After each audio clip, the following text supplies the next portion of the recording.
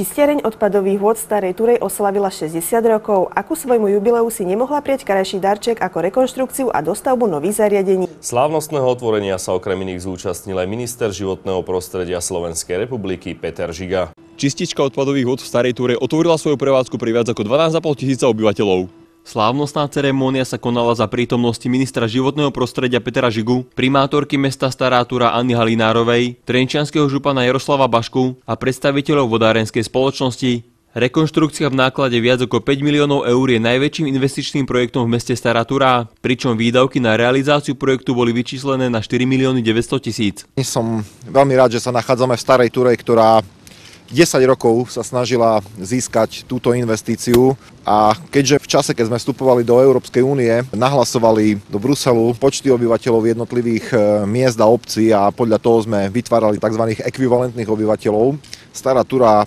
dlhé roky nebola oprávneným príjimateľom európskych fondov, pretože mala tom čase, keď sa nahlasovalo 9940 obyvateľov a mala mať 10 tisíc. Investícia znamená pre starú túru veľmi veľa nie len z hľadiska životného prostredia, ale z, predovšetkým z hľadiska infraštruktúry.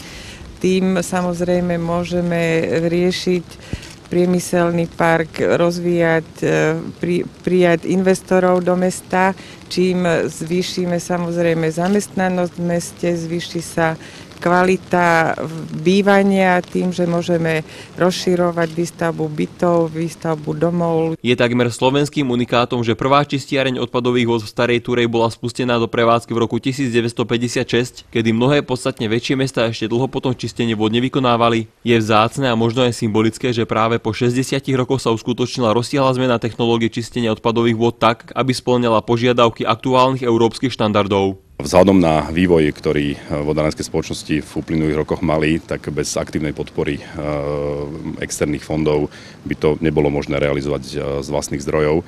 Preto e, to, že Ministerstvo životného prostredia pridelilo nenávratný finančný príspevok na realizáciu kompletnej rekonštrukcie čistiarne, kde v praxi sa zachovalo len zo pár objektov a vznikla v podstate nová čistiarne odpadových vod, znamená pre nás základnú podporu preto, aby sme vedeli plniť tieto európske štandardy.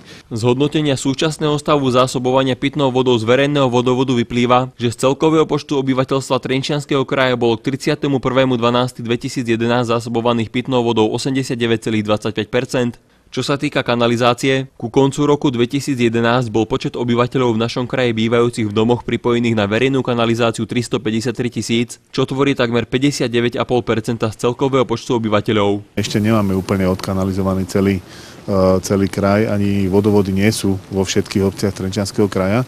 Na to práve teraz e, slúžia integrovaný regionálny operačný e, program, e, ktorý už máme vlastne aj schválený aj regionálnu stratégiu, kde môžu čerpať žiadatelia mesta a obce medzi 1000 a 2000 obyvateľmi finančné prostriedky až do výšky a je vyčlenených až 40 miliónov eur.